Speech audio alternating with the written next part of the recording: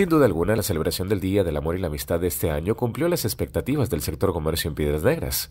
Así lo manifestaron empresarios del ramo de las flores, restaurantes y tiendas de regalos, los que mantuvieron sus negocios llenos de clientes durante todo el viernes. Hubo de todo y para todos, dijo un comerciante, al indicar que cualquier persona, sin importar su presupuesto, pudo adquirir algún producto o servicio, pues existe una gran variedad en el mercado local. Las floristerías de la ciudad estuvieron abiertas hasta altas horas de la madrugada, y los restaurantes locales lucieron completamente llenos todo el día. Todos reportan excelentes ventas y agradecieron a sus clientes por la confianza. Cabe resaltar que en esta ocasión se escucharon quejas de parte de los ciudadanos con respecto a precios elevados o fallas en los servicios.